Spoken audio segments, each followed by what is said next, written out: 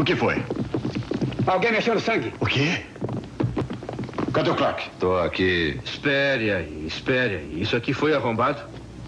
Não, a fechadura está em ordem. Alguém abriu, fechou e trancou. Ótimo. Bem, quem tem acesso a ele?